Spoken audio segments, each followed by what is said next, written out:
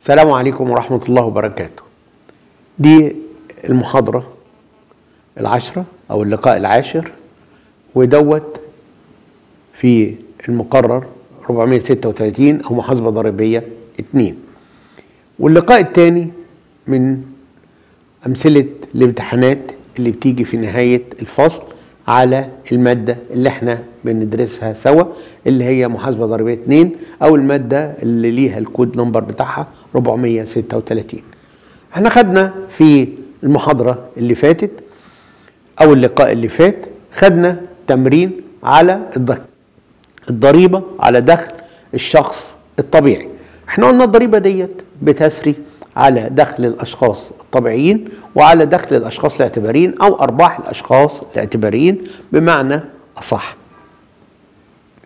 وبالتالي فهناخد التطبيق الثاني من أمثلة الامتحانات اللي هي محاسبة ضريبية 2 على الشخص الاعتباري. وبالتالي هناخد مع بعض تمرين امتحان سنة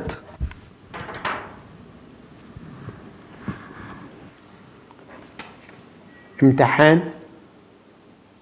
2006 دوت السؤال الأول وده شركة من شركات الأشخاص ودوت كشخص اعتباري عايزين نطلع له الأرباح بتاعته. نيجي بقى في المسألة ديت بتقول عندي شركة السلام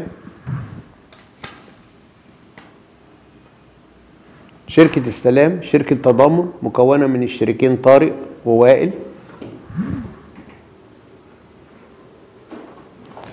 الشريكين دول بيقتسموا الأرباح والخسائر بالتساوي وفيما يلي حساب الأرباح والخسائر بالشركة عن العام المنتهي في 31 12 2000 1999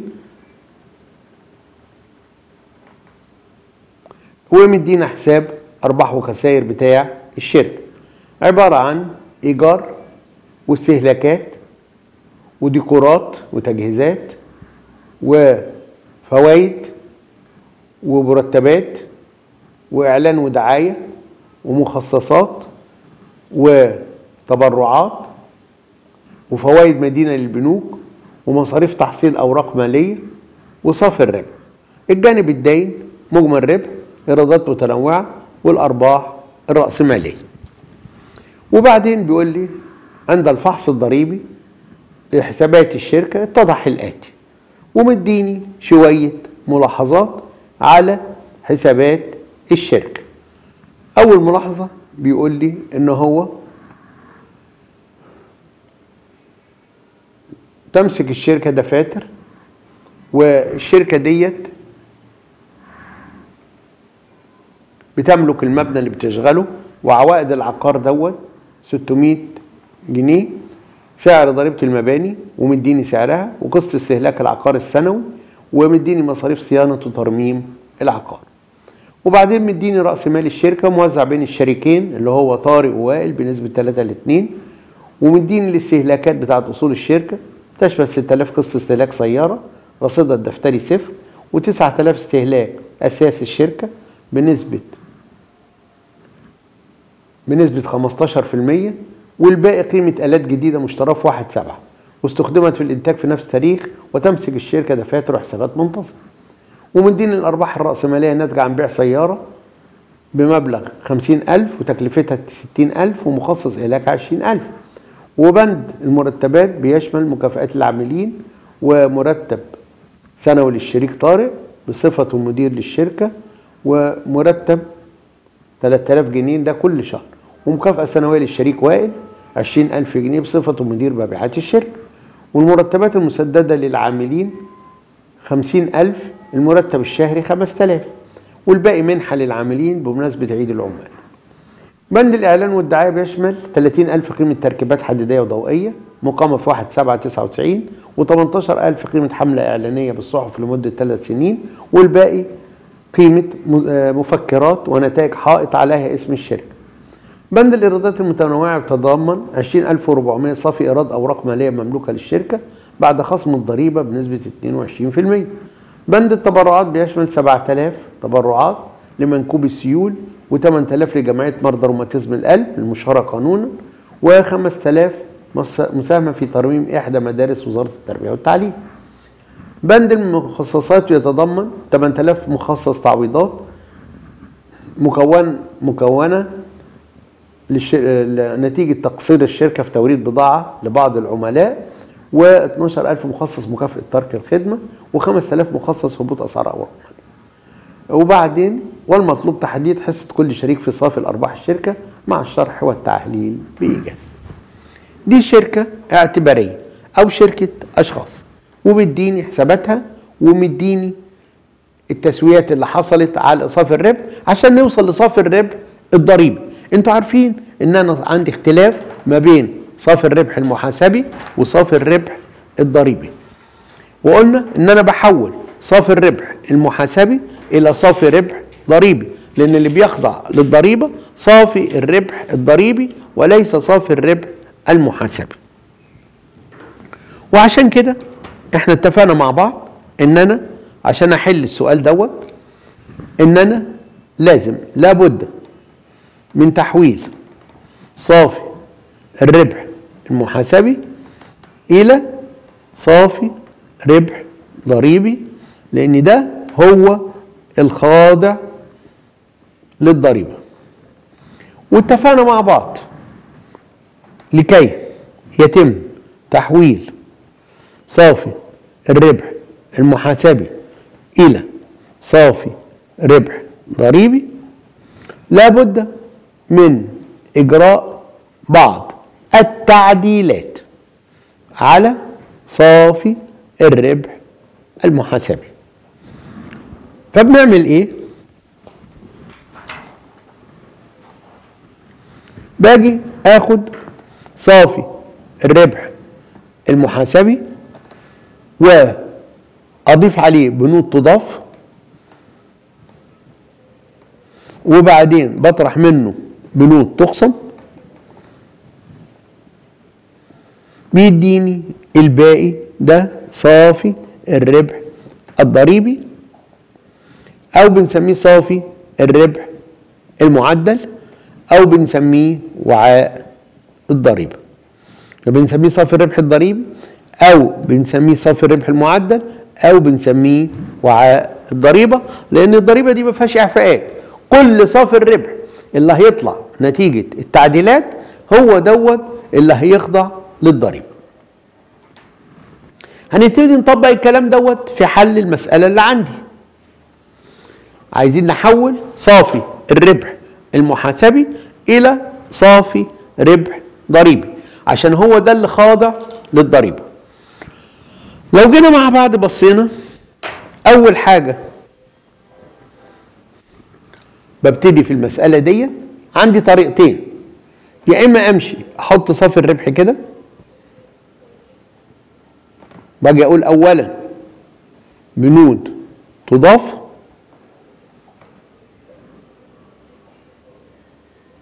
وبعدين أطلع الإجمالي. وبعدين أقول ثانيا بنود تخصم. دول بالجمع. دول بالطرح هوصل لصافي الربح الضريبي دي طريقة. أو في طريقة تانية للوصول إلى صافي الربح الضريبي. إن أنا أجي أعمل جدول كده.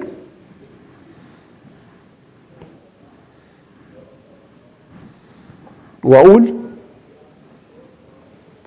بنود تضاف بنود تخصم والبيان. أبتدي هنا لو كان صافي ربح أحطه هنا.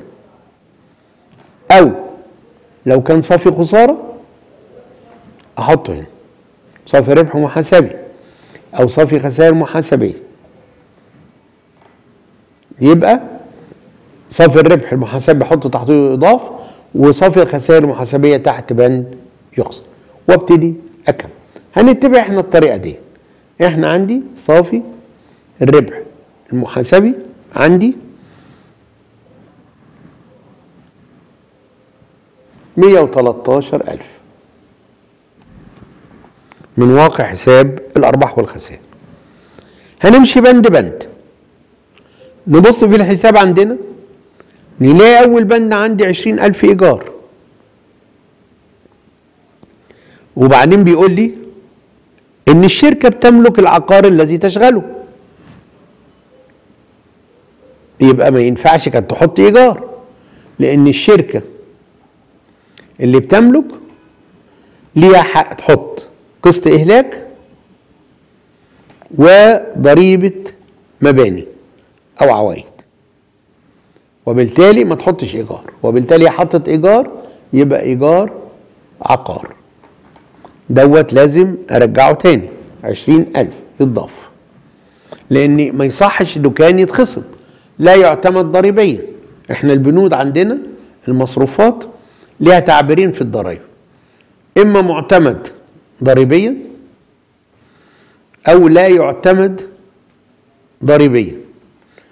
معتمد ضريبيا ملوش أثر. ليس له أثر.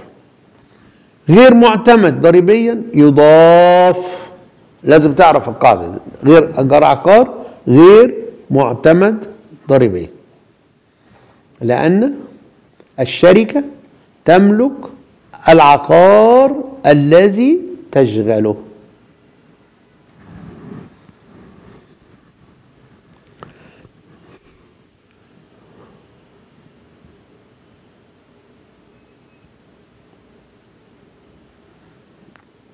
وعوائد العقار 600 وقسط إهلاك العقار السنوي 3000 ومصاريف ترميم وصيانة العقار 4000 يبقى في بنود تخصم. يخصم للشركة أول حاجة عوائد العقار اللي هي 600 وقسط إهلاك العقار. اللي هو 3000 ومصاريف صيانة العقار. اللي هو 4000 يبقى إحنا شلنا 20000 ضفناهم وخصمنا 7600 نيجي البند اللي بعد كده. البند اللي بعد كده؟ 95000 استهلاكات. هو بيقول لي في الملاحظة رقم ثلاثة إن بند الاستهلاكات بيشمل 6000 قسط استهلاك سيارة رصيدها الدفتري صفر. يبقى قسط إهلاك السيارة لا يعتمد ضريبيا لأن ملهاش رصيد. ويضاف. يبقى هنضيف قسط استهلاك السيارة 6000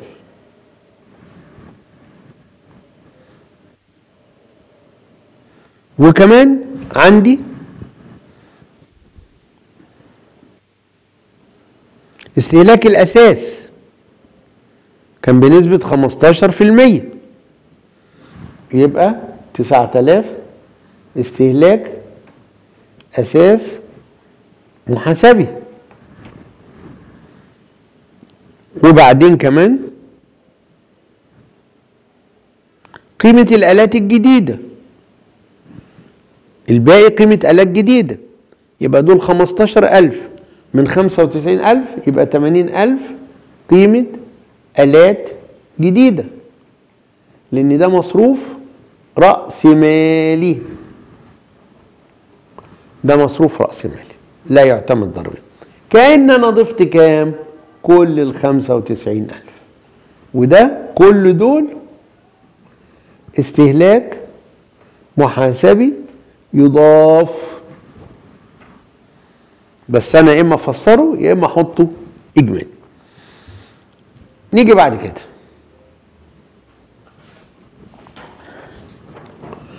بعد الاستهلاك المحاسبي.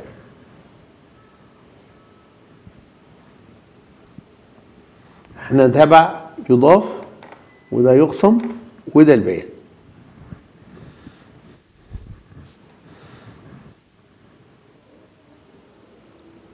نيجي فائدة رأس الديكورات وتجهيزات. هو بيقول لي في الملاحظة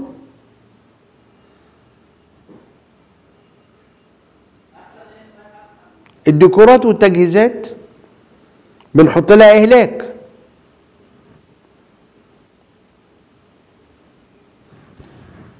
ديكورات وتجهيزات. ديت يحسب لها إهلاك وليس قيمتها. يبقى أنا هضيف عشرين ألف. لا تعتمد ضريبيا فائدة رأس المال عشر تلاف عشر تلاف فائدة رأس المال لا تعتمد ضريبيا لأنها توزيع للربح وليس تكلفة عليه.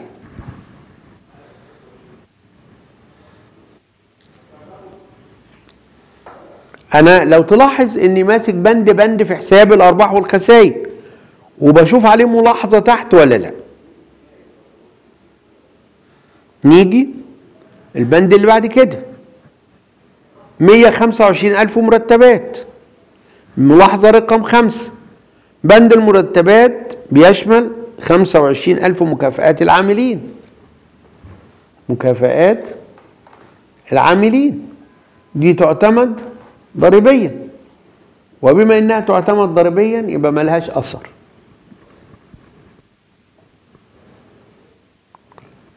والمرتب السنوي للشريك طارئ بصفته مدير الشركة. مرتب الشريك طارئ. ده توزيع للربح. لا يعتمد ضريبيا. اللي هو عبارة عن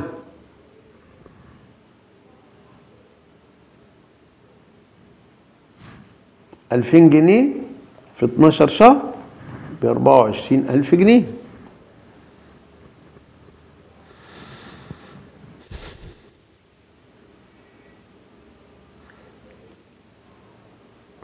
مكافأة الشريك وائل. ده متضامن. مكافأة الشريك وائل الموصي. تعتمد ضريبيا.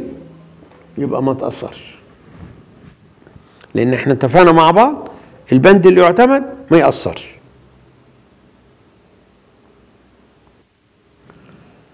وبعدين؟ مرتبات العاملين المستحقة. إحنا المرتب السنوي خمس تلاف في اتناشر بستين ألف. المدرج خمسين ألف. يبقى فيه عشر تلاف مرتب مستحق.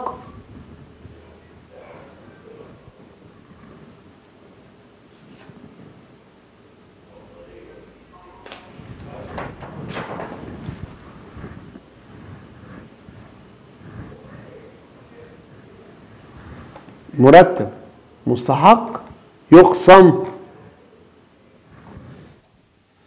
لأنهم كانوا المفروض يخصموا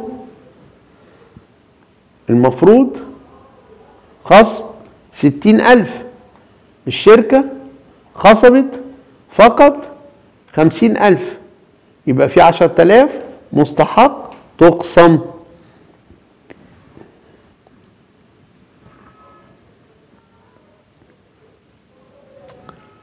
وبعدين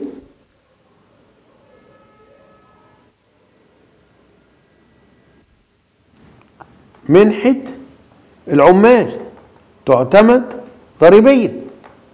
وبما إنها تعتمد ضريبيا لا تأثر على يضاف ولا على يخصم.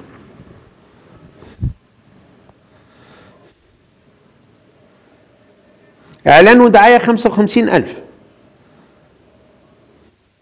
بند الإعلان والدعاية بيشمل 30000 قيمة تركيبات حديدية. قيمة تركيبات حديدية. أضيفها كلها. وقسط إهلاك. تركيبات 25% يقسم. يبقى 7500 اللي هو 30000 في 25% وده قسط إهلاك ضريبي.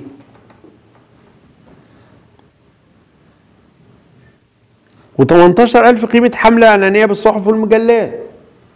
الزيادة في قيمة الحملة الإعلانية. إحنا دافعين 18 ألف ناقص. 18 ألف على 3 ده اللي يخص السنة. يبقى في عندي زيادة مدرجة 12 ألف لا تعتمد ضريبيا يبقى هضيف 12000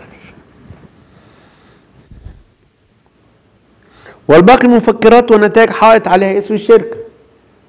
باقي مصاريف الإعلان مصاريف دوري يعتمد ضريبيا وبما إنه يعتمد ضريبيا ما يأثرش.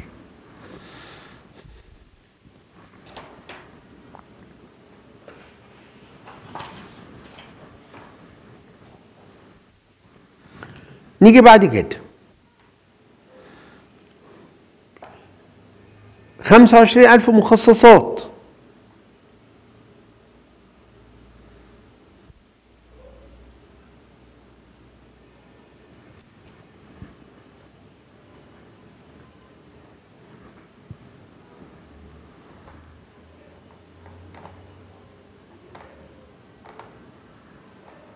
مخصص تعويض للعملاء.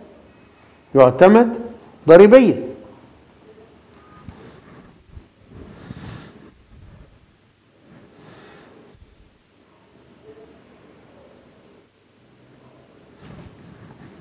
مخصص مكافأة ترك الخدمة. لا يعتمد ضريبيا. ويضاف. 12000 لأن الضرائب لا تعترف بأي نوع من أنواع المخصصات أو الاحتياطيات.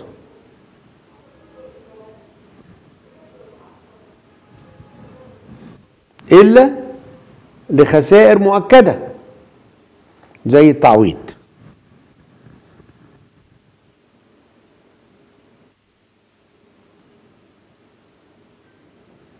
مخصص هبوط أسعار. مخصص هبوط أسعار أوراق مالية. لا يعتمد ضريبيا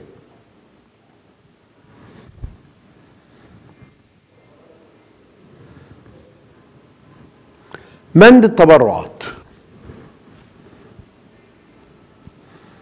عندنا بند التبرعات.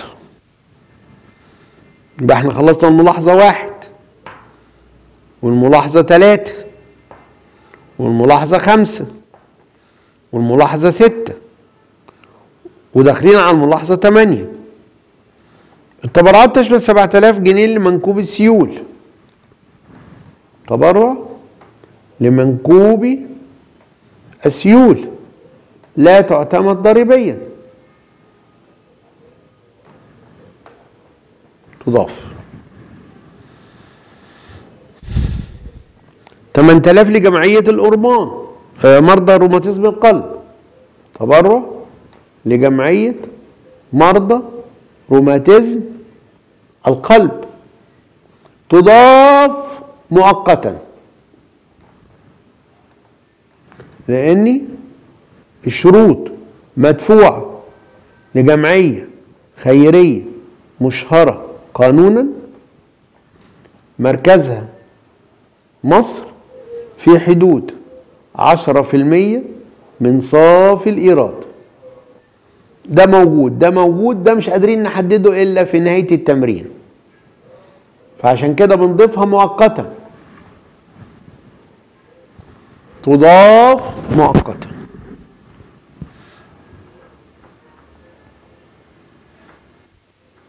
وهنرجع لها تاني.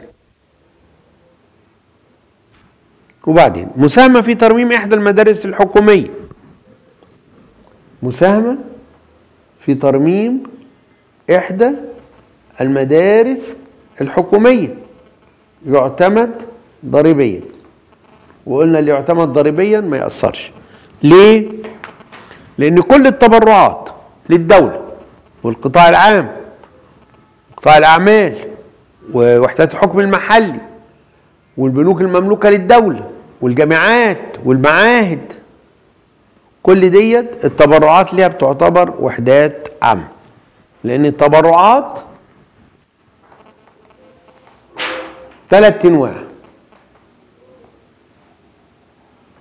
تبرع للدولة أو لقطاع عام أو قطاع أعمال أو حكم محلي أو وزارة أو جامعة تبرع لجمعية خيرية مشهرة قانونا تبرعات أخرى. زكاة معالجة الفقراء آه، مساهمة في مصاريف طلاب. ده لا يعتمد ده يضاف. ده يعتمد بالكامل. ده يضاف ويخصم. يضاف مؤقتا ثم يخصم في نهاية التمرين. عشان نثبت العشرة في المية. مش هقدر أعرفها إلا في نهاية التمرين. فعشان كده المثال بتاعنا. ترميم منتهى الحكومة ما دخلناهوش. التبرع لمنكوب السيول دخلناه ضفناه. ده مش عارفين كام في حدود عشرة ولا أزيد. فبنضيفه وبعدين نرجع نقسمه اللي بعد كده.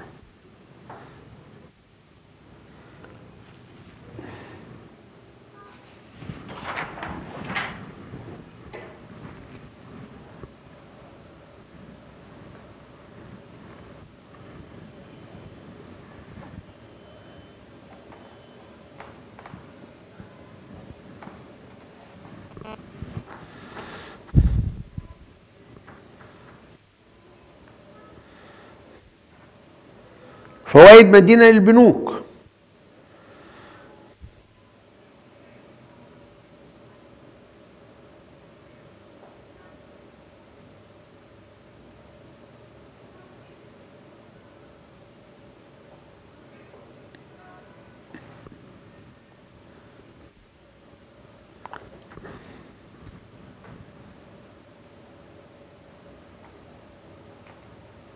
تعتمد ضريبيا ولكن ابتداء من عام 2005 لها شروط.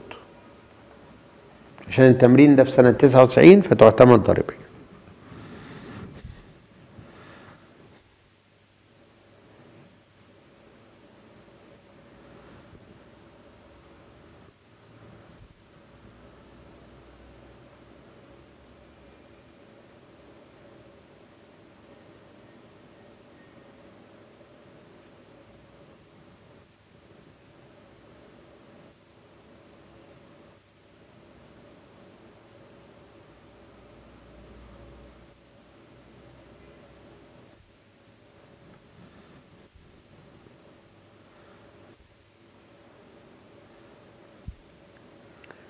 البند اللي بعد كده. مصاريف تحصيل أوراق مالية. يعتمد ضريبيا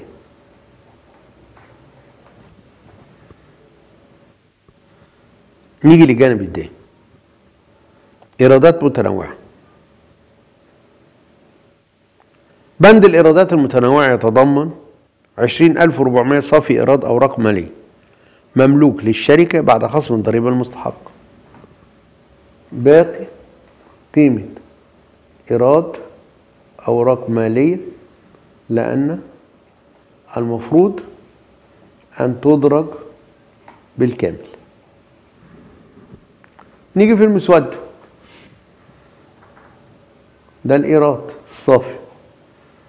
أضربه في مية على 78 لأن ده بعد خصم بعد خصم 22% ضريبة. 32% ضريبة. 32 يبقى ده 68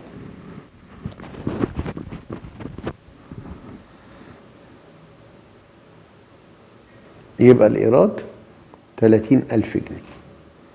المدرج عشرين ألف وربعمية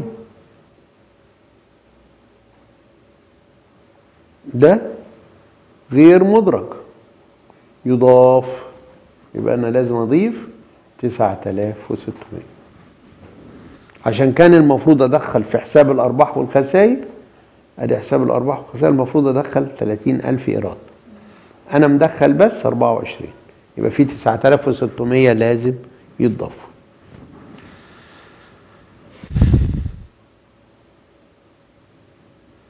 أرباح رأسمالية.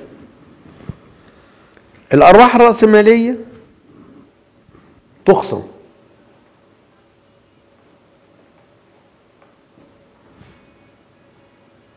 عشرة آلاف. ونيجي نشوفها بقى هم عاملين فيها إيه؟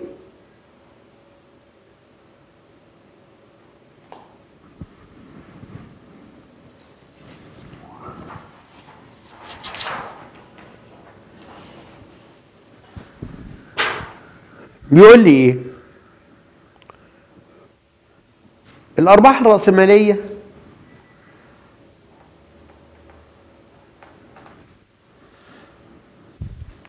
بيع سيارة قديمة ثمن البيع سيارة خمسين ألف.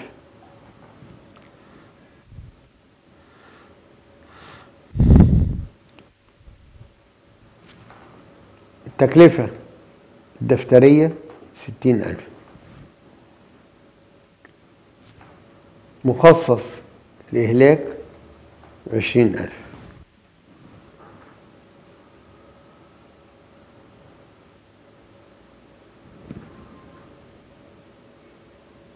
مخصص إهلاك متأسف تلاتين ألف. إذا الأرباح الرأسمالية تساوي. تمن البيع ناقص صافي القيمة الدفترية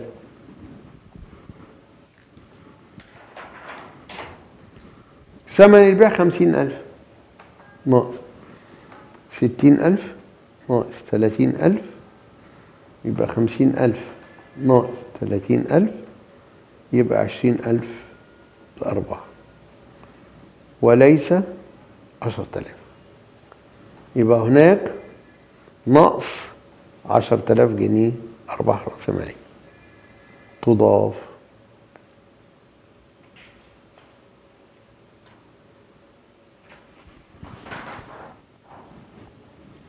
يبقى آدي.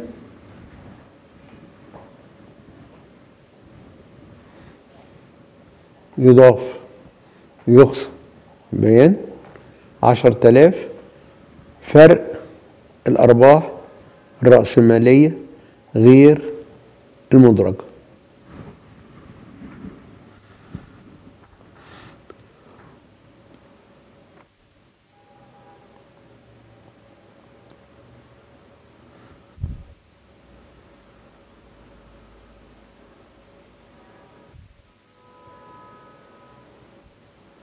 نيجي بقى. قسط إهلاك ضريبي للآلات الجديدة.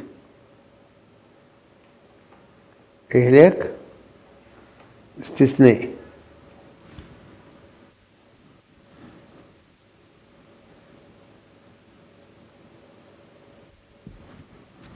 عندي ثمانين ألف في تلاتين في المية بأربعة وعشرين ألف. يخصم. وبعدين إهلاك عادي. تمانين ألف ناقص أربعة وعشرين ألف واللي يطلع أضربه في خمسة وعشرين في المية.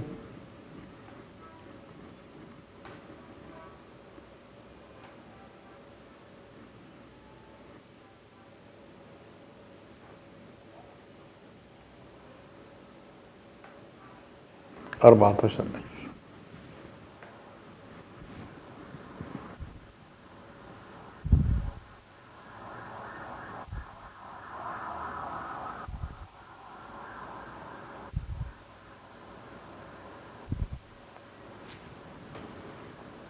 إهلاك أساس.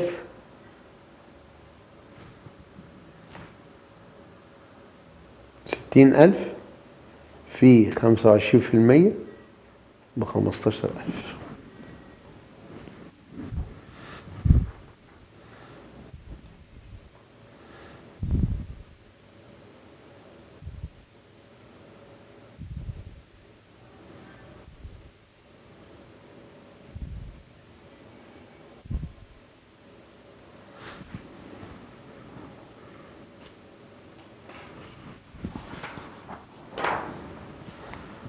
هنكمل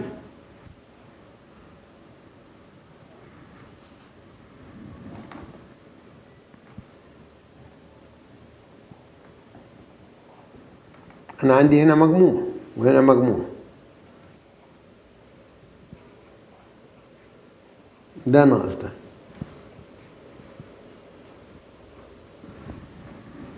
هطرح؟ اللي يخصم من اللي يضاف والباقي ده مثلا ميتين ألف. هاجي أقول تبرعات. جمعية مرضى رعاية قلب. ميتين ألف. في عشرة المية. بعشرين ألف. أو المدفوع. المدفوع عندي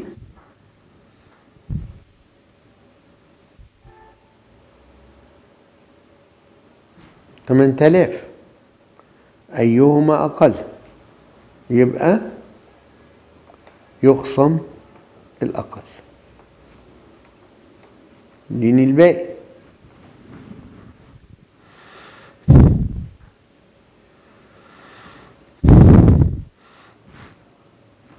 ناقص خسائر مرحلة لمدة حد أقصى خمس سنوات. يديني وعاء الضريبي أو صافي الربح الضريبي لأن ما عنديش أعباء عائلية في الضريبة على الأشخاص الاعتباريين. الضريبة دي شخصية ضريبة على الدخل شخصية فقط لما بتبقى على الأشخاص الطبيعيين. لكن الأشخاص الاعتباريين ما لهمش إعفاء. ده طريقة الحل بتاعة المسألة في بس بندين ما جوش في المسألة ديت ويهمني تعرفوهم أحسن يجوا في مسائل تانية أو في امتحانات أخرى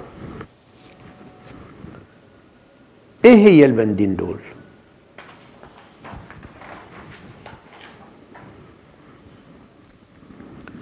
أول بند المصاريف غير المؤيدة بالمستندات. المصاريف غير المؤيدة بالمستندات ديت تعتمد ضريبيا في حدود سبعة في المية من المصاريف الإدارية والعمومية المؤيدة بالمستند.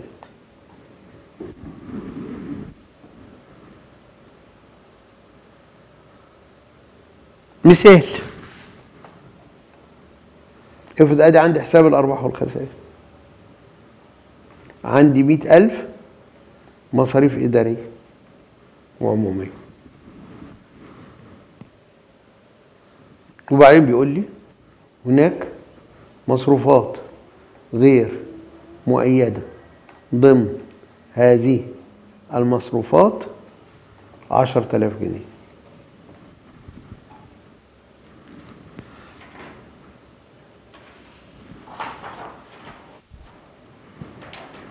أثر الكلام ده على الإقرار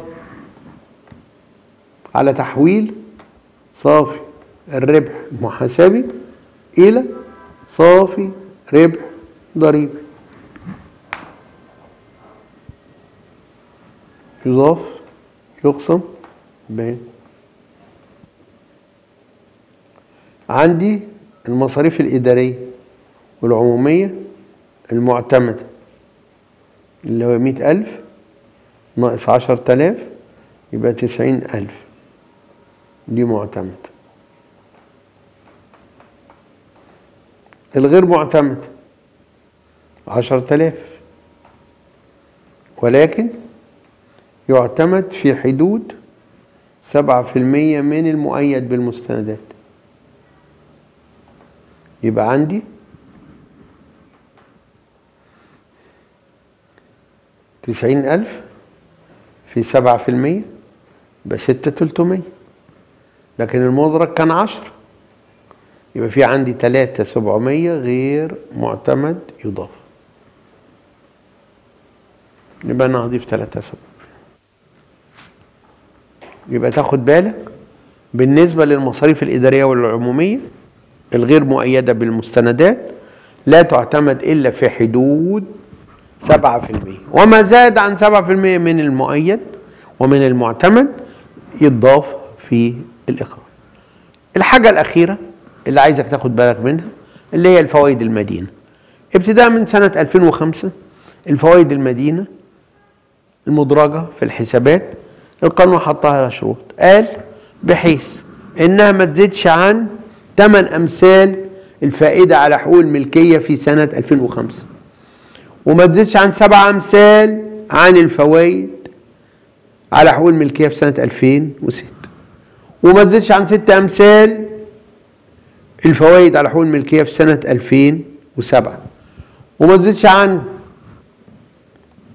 خمس أمثال الفوائد على حقوق الملكية في سنة 2008 وما تزيدش عن أربع أمثال الفوائد على حقوق الملكية في سنة 2009 وما بعدها. يبقى الفوائد دلوقتي المدينة لا تعتمد إلا في حدود أربع أمثال الفوائد على حقوق الملكية. وما زاد على ذلك لا يعتمد. وبالتالي يضاف في الإقرار الضريبي على التعديلات اللي بتتم على صافي الربح المحاسبي بشكركم. وبننهي المحاضرات الخاصة بالمادة 436 وده آخر حاجة فيها كان تطبيق تاني على أرباح الأشخاص الاعتبارية بالخاصة بالضريبة على دخل خدنا على الأشخاص الطبيعيين وعلى الأشخاص الاعتباريين وإن شاء الله بالتوفيق والسلام عليكم ورحمة الله وبركاته.